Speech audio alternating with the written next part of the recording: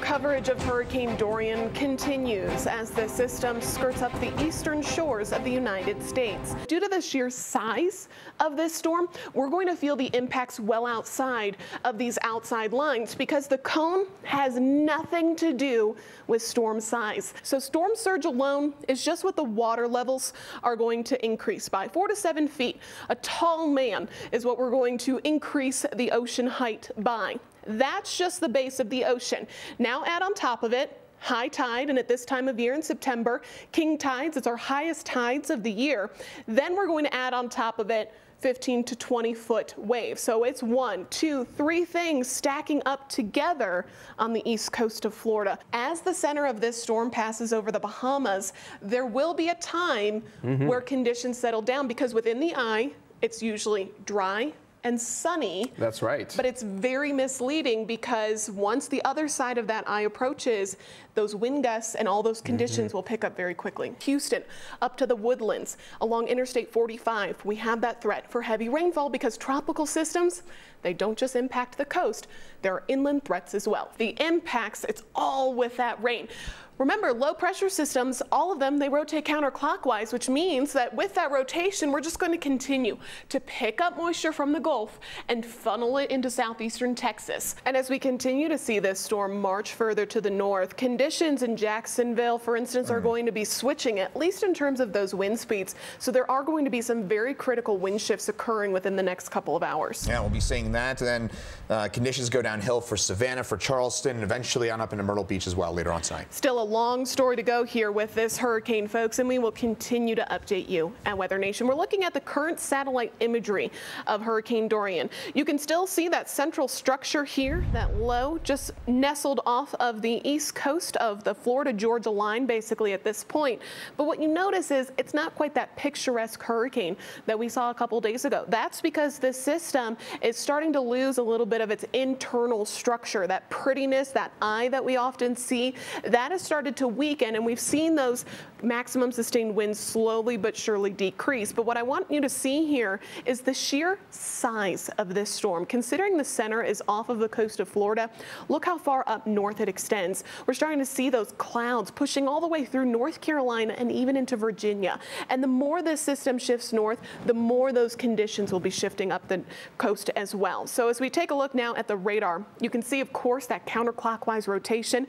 A hurricane is, of course, just a very strong low pressure system. So any low pressure system in the northern hemisphere rotates counterclockwise. And that's also why we've got that banding that continues to move over much of Georgia, including Savannah, up towards Charleston, South Carolina. And then as we looked around the Jacksonville area where it's been coming down now pretty consistently, what happens a lot of times these bands track over the same spot hour after hour, which does lead to heavy rainfall. And over the past 24 hours, we have seen some of that. Upwards of one and a half to two inches of rain have been recorded in several spots in northeast. Florida. But notice how just to the north of Daytona Beach, you see that band of red. That's because we get very localized heavy rainfall. So it's not necessarily always that super widespread where we're talking about some of the most extreme rain. It can be very isolated. And of course, you put that in the wrong spot. For instance, some of our coastal cities that we're going to be dealing with this, it can be a uh, mess for disaster, a recipe for disaster. Now, I did mention a little bit of good news for folks across northeastern Florida. Notice how the center of that system sitting offshore. We've got offshore flow now in Jacksonville, in Daytona Beach. Well, Jacksonville, you're still a little north northwest there, but look at the westerly flow across the Space Coast. That's finally pushing a lot of this water offshore. So that's the key. When you get on the southern side of the center, you're going to start to see offshore flow. Now, opposite story for folks in Georgia and South Carolina. Look at that northeasterly. It's either longshore or onshore flow, which means that we're going to start to really see that water begin to pile up and then just continue as this system moves to the north. That's where that storm surge concern comes into play. Now, on top of storm surge, let's add 12 to 20 foot seas.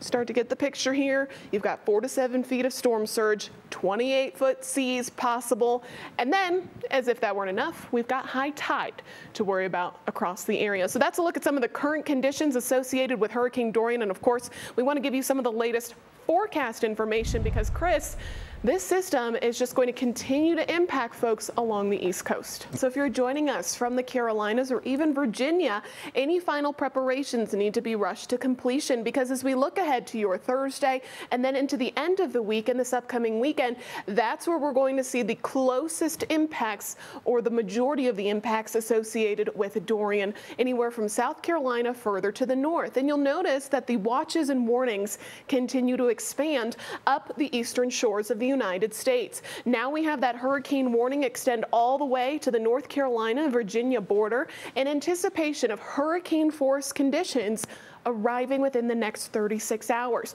So again, every county further north you head, you have a couple extra moments to do your final preparations. And I just want to emphasize that this storm should not be taken lightly because we are not ruling out landfall into one or both of the Carolinas as we go throughout the next couple of days. In addition to just the sheer winds that we're going to deal with, we've also got to be concerned, of course, with that storm surge. As Greg mentioned, winds are now moving offshore in Florida. That's going to push the water out.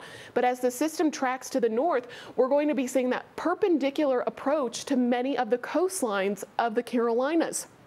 That means direct push of all of the water inland across the outer banks, the intercoastal waterways. We've got a lot of low-lying, also marshland across the area, all very susceptible to that storm surge inundation and flooding. So we'll continue to watch the storm, again, track very slowly to the north, eventually making, hopefully, more of that northeasterly turn. But notice how close we are. We could be seeing the system either skirt and clip the coastline or move inland as we look ahead to Thursday and Friday. So I want to emphasize that all of those different possibilities, those different types, offshore, skirting coastline, or moving inland with landfall, are all three still potential outcomes with this system. And as it skirts the coast, we're also going to have to look out for that tornado potential as well as a flash flooding potential. This will also be a large story for folks on the coast as well as inland, where we could be easily seeing a half a foot of rain